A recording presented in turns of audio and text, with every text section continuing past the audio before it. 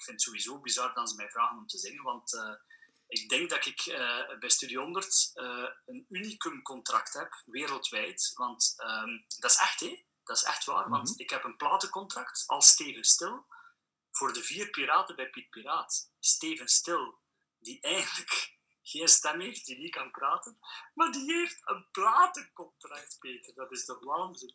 Dus uh, ik ben uh, de ja, enige artiest wereldwijd die royalties trekt op cd's. Uh, ja, waar dat ik niet op gezongen heb. dat is toch... Maar de, de Piraten en Studio 100 zei, jullie zijn met vier, we doen de koek in vier, we gaan daar niet over zeveren, ook al zing je niet, je krijgt een platencontract. Dat is toch fantastisch? Dus ik denk dat dat meegespeeld heeft bij Sam en Manu om mij te vragen voor een single. Uh, omdat ze weten, ja, maar, ja, maar die artiest die heeft wel een platencontract bij Studio 100. Dus het zou misschien meegespeeld hebben, Peter, wie weet. Eigenlijk is dat toch geweldig? Een platencontract hebben en geen noot zingen en toch betaald worden. Ja, ja. en dan klagen ze bij Studio 100 dat het niet goed gaat. geweldig. Oh my god. Ja, doe het, doe het maar. Jongen, jongen, jongen. Maar ja, maar wereldwijd is dat een unicum. Allee, bedoel, ja, dat, dat zal wel. Maar ja, je kunt er wel goed mee zijn. Maar nu ja, ik denk ook niet dat het zoveel opbrengt, Dirk. Hè? Nee, nee, nee. Het is, ah, allee, bedoel, je wordt er niet rijk van, maar het is, het is leuk uh, dat het gebeurt. En dan zo op die manier, uh, allee, chapeau van Studio 100 ook. En ook van mijn collega's die wel... In het begin moet ik zeggen, uh, in 2002, als de eerste, allereerste single is opgenomen geworden. En toen dat ik dat, eigenlijk dat, dat platencontract al in handen had, ondertekend en al...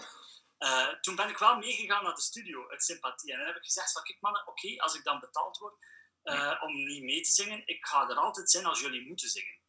En uh, een van de volgende telefoons dat ik kreeg, dat was van een medewerker van Studio 100. Die zei: van ja, jij zit de laatste dat ik bel in het rijtje. Zet jij vrij volgende week donderdag voor een opname van een single? Ehm, ik zeg: nee. Nee, dat gaat niet lukken. Oh nee, dat moet ik opnieuw plannen, want Peter kan, Anke kan, Dirk kan. Uh, ja, als jij nu niet kan, ja, dan moeten we het uh, ja, op een andere dag doen. Ik zei, kijk eens naar een aflevering van Piet Piraat en dan me dan eens terug.